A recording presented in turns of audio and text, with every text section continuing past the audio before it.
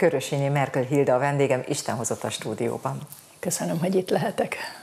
Hogyha a reformkor, a 48-as forradalom lángoló hangú költőire gondolunk, akkor mindenki először Petőfi Sándort említi meg, és a nemzeti dalt, ami olyan erejű volt, hogy magával ragadta a népet, de keveset tudunk más költőkről, pedig gondolom, hogy mások is esetleg hasonló erővel tudtak megszólalni.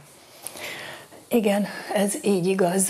És a 48-as szabadságharc márciusi eseményeit Petőfi talpra magyarja mellett talán még jobban, még tüzesebben, még bátrabban fejezi ki Cucor Gergelynek a Riadó című verse. Én azt javaslom, hogy mielőtt beszélgetnénk róla, hallgassuk is meg kollégánk Mohai Gábor előadásában.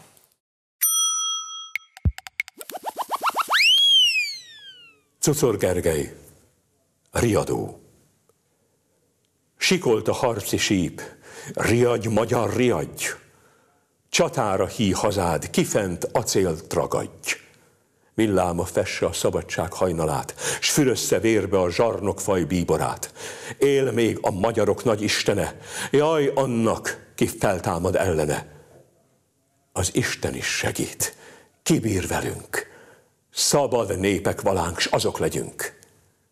Nem kell zsarnok király, csatára magyarok, tejére vészhalál ki reánk agyarog, ki rabbilincseket s igát kohol nekünk, mi sárga-fekete lelkébe tört verünk.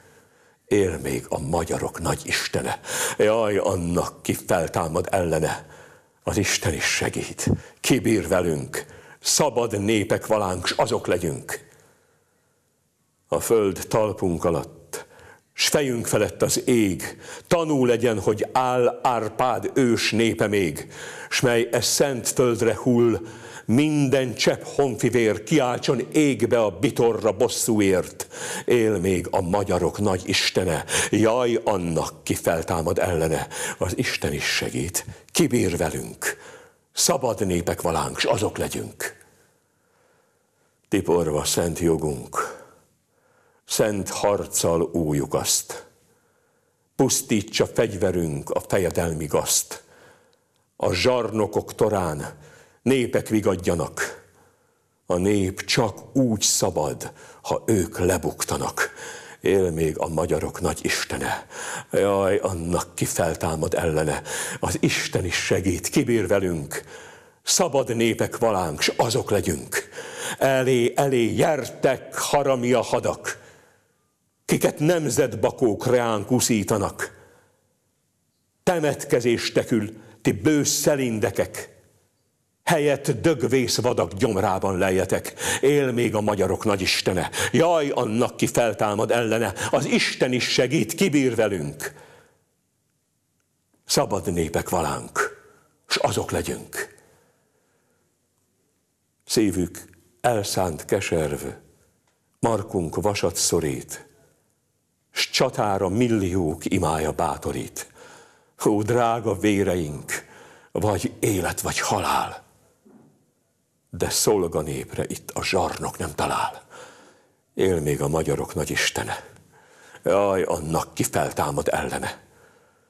Az Isten is segít, kibír velünk. Szabad népek valánk, s azok legyünk. Vitézek, őrhadak, fogjunk búcsú kezet, iszonytató legyen, s döntő ez ütközet, ős áldomás gyanánt, eresszünk drága vért végső piros cseppig, hadd folyjon a honért, él még a magyarok nagy istene, jaj annak, ki feltámad ellene, az Isten is segít, kibír velünk, szabad népek valánk, s azok legyünk.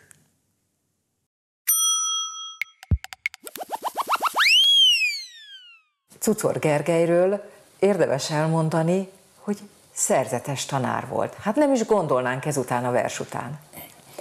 Cucor István a születési neve, a Gergely az a rendi neve, Bencés szerzetes volt Cucor Gergely, és nem csak költő, ahogyan ezt a vers is bizonyítja, hanem tudós ember is volt.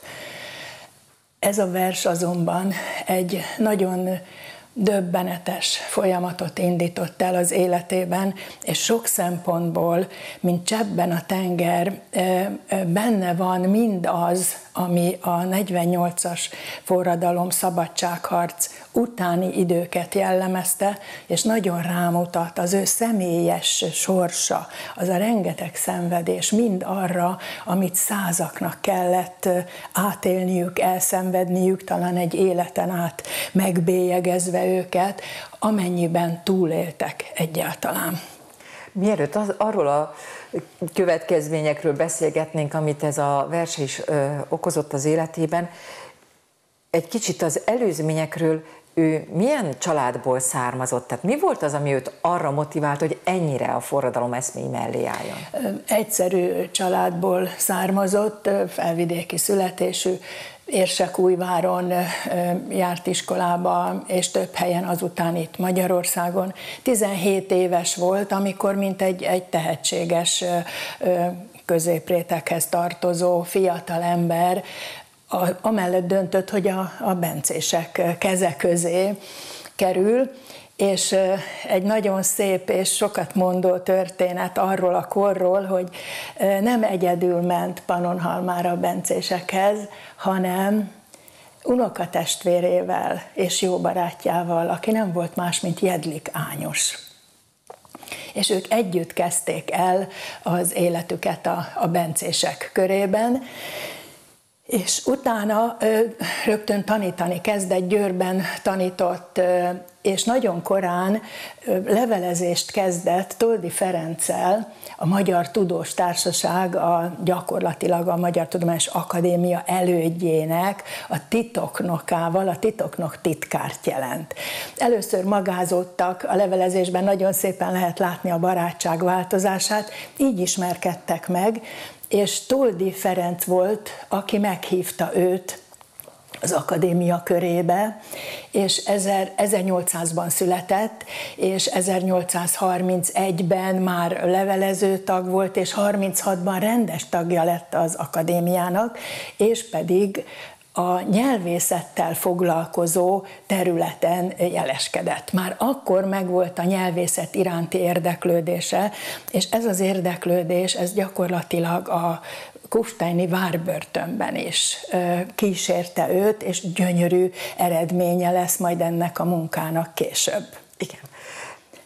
De most még ott tartunk, hogy ö, forrong a, a levegő. Nyilván benne volt már akkor a levegőben, hogy, hogy tényleg csak egy szikra kell valami, és kitör a forradalom.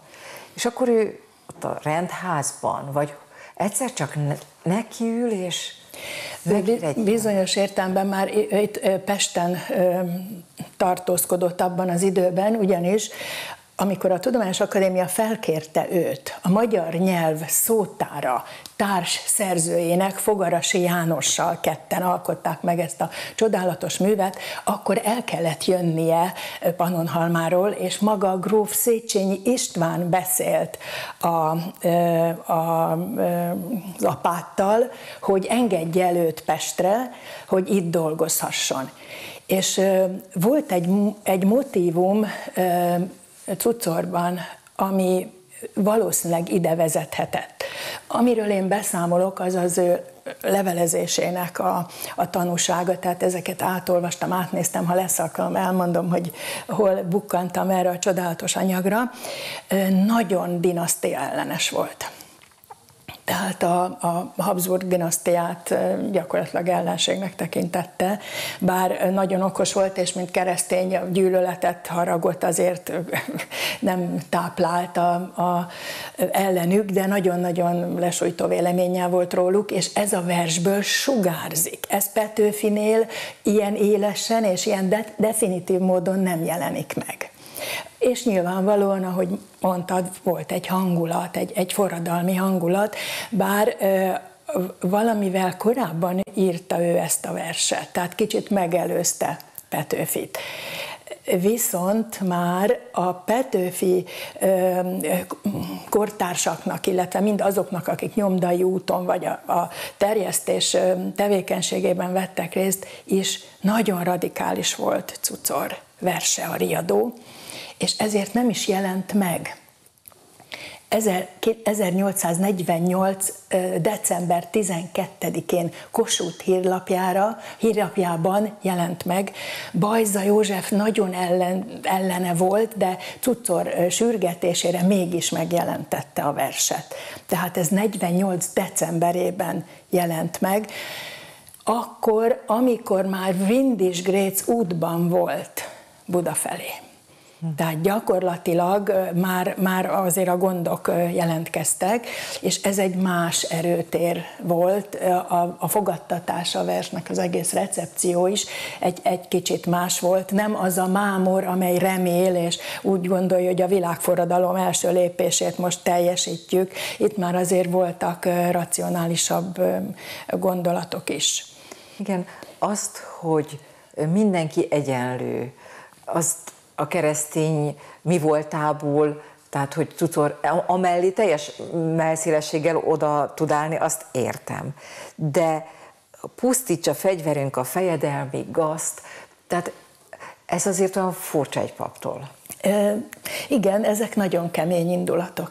Nagyon kemény indulatok, ugyanakkor, e, hogyha belegondoljuk magunkat, beleképzeljük magunkat ebbe a helyzetbe, mekkora bátorság kellett ehhez milyen, milyen erővel jelent meg nála ez a gondolom jobbító szándék, hiszen szerette volna, hogy a vers refrénje is, hogy szabad népek vagyunk, legyünk is azok. Tehát a szabadságról nyilvánvalóan volt egy elgondolása, és azért a szabadság a francia forradalom utáni időktől egyfajta mítosz volt, azt hiszem ezt ma már mondhatjuk, mert annak is, és mindenek, ami ebből következett, a szabadság torzítása, kicsit következménye is, de biztos, hogy ő a, a, a jobbágyokra és a, a, a szegényekre is gondolt, akkor, amikor ezeket megfogalmazta, minden esetre ez gyakorlatilag fikció, amiről most beszélünk, mert én a, az, abban a levelezésben, amely fölött, találtad?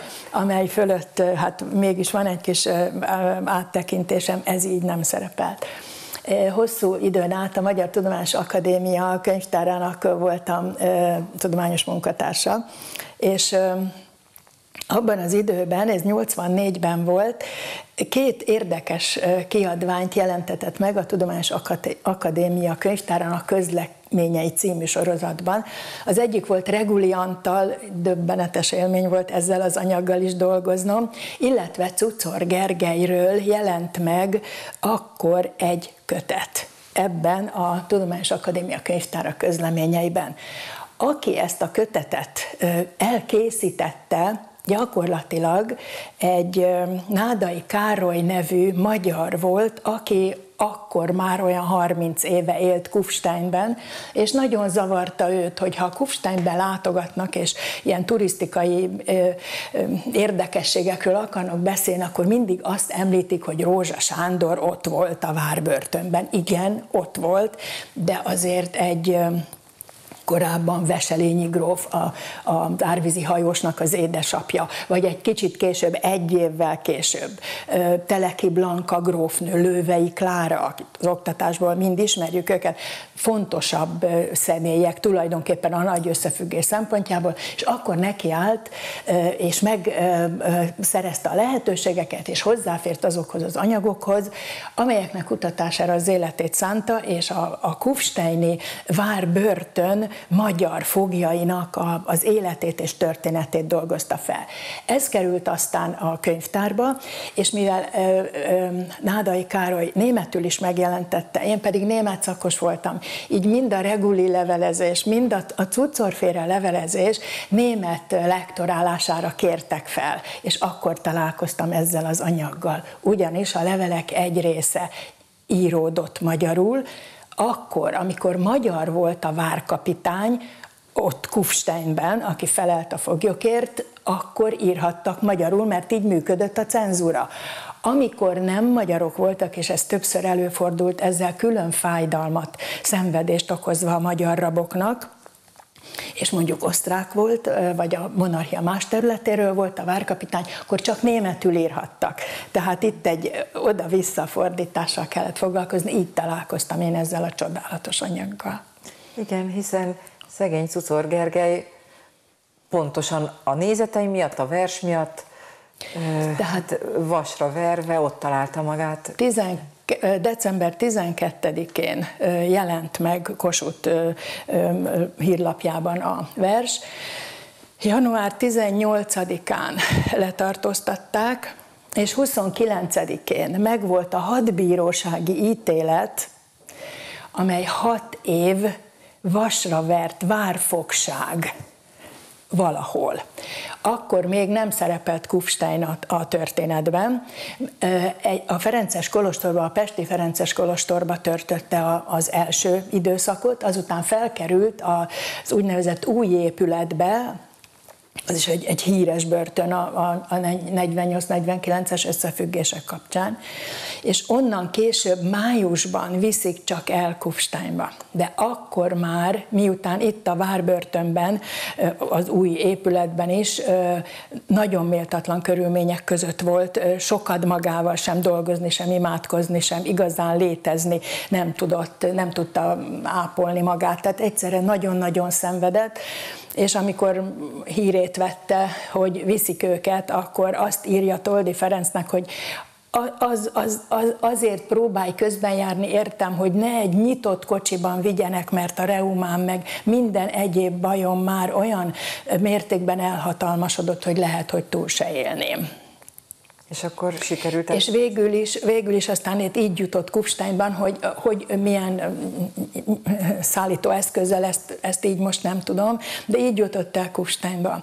De ott éppen egy, egy magyar kapitány volt akkor felelős, és ott kapott egy önálló szobát. Igen ám, de vasra verve az azt jelenti, hogy a lába és a, és a keze leláncolva. Ez egy borzasztó állapot, és azért nézzék meg a Kufsteini várat, nézzék meg magát az épületet ott a, a, a Domba hegy, egy sziklára épült vár, iszonyú körülmények voltak, mégis ezzel egy picit jobban megbarátkozott, hogy egyedül volt, és itt már és itt kapcsolódunk megint, és azt hiszem, hogy ez az a hit, a hazaszeretet, tehát nem csak a versben egy nagy érzelmi ö, ö, robbanás, amit, amit megfogalmazott, hanem ő a hazaszeretetét kifejezte éveken át. Ott a, a várfogságban először csak ö, eszközök nélkül, később aztán Toldi Ferenc tudott neki könyveket küldeni, és dolgozott tovább a magyar nyelv szótárán, nagyon komolyan dolgozott rajta. És az első hat hónapban amíg ezek az anyagok nem érkeztek meg, lefordította Tacitus Germániáját latinból. Tehát egy, egy, egy nagyon nagy kaliberről van szó, aki így elfoglalta magát, küzdött, amivel tudott, tehát olyan intellektuális ereje és felkészültsége volt. Itt azért a szerzetesi háttér és hát a bencés képzés megmutatta az előnyeit, tehát ezt, ezt így át tudta vészelni ilyen formában. És akkor a leveleiből átsüt a a hite, hogy, hogy ebben a nyomorúságos helyzetben ő tudja, hogy kibe kapaszkodjon, kibe bízzon? A, így direkt módon a hitéről nem beszél. Ezek a levelek Egyrészt reflexiók a kegyelmi kérvényekre, és itt megint a nagy hazafiak sorát tudnám említeni. Nem csak Toldi Ferenc volt az, aki közben járt, érte mindenféle kapitányoknál, ezredeseknél, tábornokoknál, de ugyanezt tette Teleki József gróf is, az a Teleki József, aki a Magyar Tudományos Akadémia könyvtárát a saját könyvtárának adományozásával megalapította. Tehát a, a könyvtár alapítója, ahogy ugye a, a Széchenyi könyvtár és Széchenyi Ferenc, itt Teleki József. Teleki József személyesen veszi fel a kapcsolatot Windis Grécel, és más ebben az ügyben döntőképes emberekkel. Közben járnak a, a Panonhalmi apátnál is, ugyanis a várfoglyoknak pénzre volt szüksége. Télen hideg volt, a ruhájuk elrongyolódott, a, a éhesek voltak, tehát itt még fizetni is kellett. És a, a rend küldött pénzt Cucor Gergelynek sajnos nagyon szomorúak azok a levelek, hogy nem eleget, és egy ponton túl közlik vele, hogy többet nem. Amit tudott a Tudományos Akadémia, illetve a Tudós Társaság, ugye ez volt a neve, Toldi Ferenc közvetítésével azt mindent adtak. Ilyeneket fogalmaz meg az egyik levelében Cucor Gergely, hogy, hogy egyrészt a sebek, amelyek a lánctól vannak, elhatalmasodtak, begyulladt a szemem, és olyan sovány vagyok a rossz táplálkozástól, hogy úgy nézek ki, mint aki elmehetne egy alföldi asztagra madárjesztőnek. Úgy lötyög rajtam a ruha. Tehát ilyen nagyon konkrét, racionális állapoti jelzések vannak, ami nagyon megindító, az a, és biztos, hogy a reményéből, a keresztény reményéből fakad a humor. Tehát önmagát is mindig humorral kezeli. Szomorúak ezek a levelek. Reflektál, ugye nem, nem történik igazán előrelépés gyorsan az ő kegyelmi ügyében. De azért addig nem adják fel ezek a hazai támogatóik, és ez nagyon-nagyon szimpatikus. Míg végül is azért valahol lépnek előre, és az egyik levélben megfogalmazza egy nagyon jó indulatú, magasrangú katona, akihez a levelet címezték, hogy azért abban az időben, 49-ben más alapokon történt a, az ítélethozatal, és kvázi ez azért túlzás, amit Cucor Gergelyre szabtak. Aztán végül is 1851-ben ő felsége a császár megengedi, hogy a hátra lévő három és fél évet, vagy ne kelljen letöltenie, hanem szabad lehessen. De egy történetet szeretnék még elmesélni, ami, ami nagyon-nagyon megindító, és mutatja, hogy, hogy Toldi Ferenc, az akkori főtitkár, hogyan viszonyult ehhez a kérdéshez, hogy mennyire ember volt.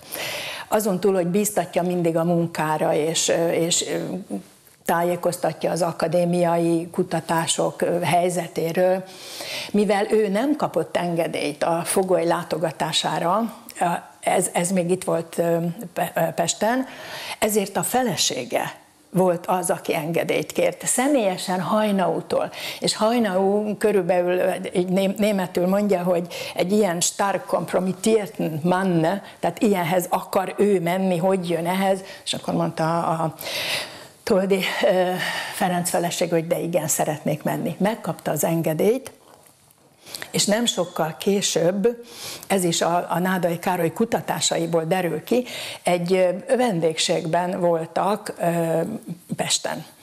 És jött egy tiszt, aki foglyokkal kapcsolatban volt, és mondta, hogy hát nagyon pikáns történetet szeretnék elmesélni. Van egy különös fogjunk, aki ilyenből nincs sok nálunk, és erre Toldi Ferenc felesége rögtön mondta, hogy cucor? Igen, cucor. De nem ez a lényeg, hanem jár hozzá egy nagyon szép fiatal nő, és elhatároztuk, hogy ha legközelebb jön, akkor megnézzük, hogy ez milyen viszony. De az is felmerült, hogy levetköztetjük, mert hát ha titkos iratokat, kémkedés, és ilyen formában tartják a kapcsolatot, és valami lázadást szítanak megint. És akkor Toldi Ferencné ott mondta, hogy az az asszony én vagyok, és semmi ilyenről nincs szó. A tiszt bocsánatot kért, megdöbbent, Toldiné megkérte, hogy nagyon kérje, hogy ezt nem mondja tovább, mert a férje bajba kerülhet, nem szeretné a férjét azon a poszton, amin van ilyen formában diszkriminálni, a tiszt tartotta a szavát, ez is nagyon pozitív a becsület szavát, és Toldiné többet nem mehetett. Viszont amikor, amikor Toldi szabadult, nagyon nagy öröm volt mindenki számára, megjelent egy hirdetmény, amelyben magasztalták a császárt a kegyelméért, hogy visszaadta Cucor Gergelyt a magyar tudományosságnak. Akkor Cucor a szabadulás hírét meghallotta ott Kufsteinban, és akkor kérte, hogy neki lenne egy kérése. Ő szeretné a bilincseit elkérni és erre mondta a, a tiszt, hogy ezt sajnos nem adhatja, mert ez a kincstáré, így nem lett, Cucor megvette.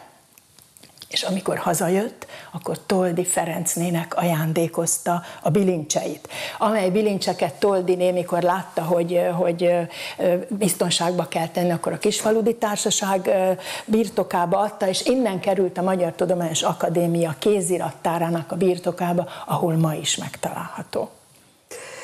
Van egy másik vers is, amit a kapcsán most már csak röviden fogunk tudni beszélgetni, akkor hallgassuk most e- meg ezt is.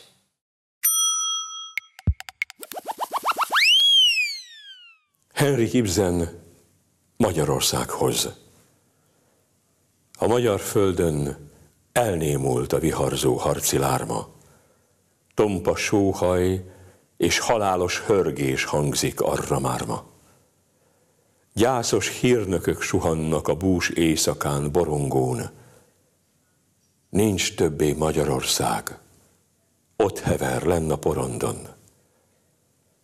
Az igazság hősein most barbár horda kénye harsog, s gyilkoló alászkodással áll a gőgös durva zsarnok. Újjongtok, bíbor monarchák, az erő győzött a hadba, s a szabadság tiszta lángja újra hambadoz lohadva. Árva ország, sok fiadnak vére folyt ki, mint hiába. Búsan fénylik a halott hős vértanúi glóriája. Európának reménye, holtjaid remegve nézed. Lengyelország sorsa vár rád. A felettség, az enyészet. Ám a szürke életüntén tündöklő hajnal dereng fel. Hőseid sírból kikelnek mély, sötét, halotti sebbel, egyesülni vélük, akik partjain a visztulának és a német vérpadoknak lépcsein elpusztulának. Ó, ha késő nemzedékek támadnak, s ledől az oszlop, Trónok inganak, zuhannak zsarnokok, silány poroszlók. A magyar név büszke név lesz, és a hadba indulónak, a vitéz, merész seregnek úgy zeng, mint győzedelmi szózat.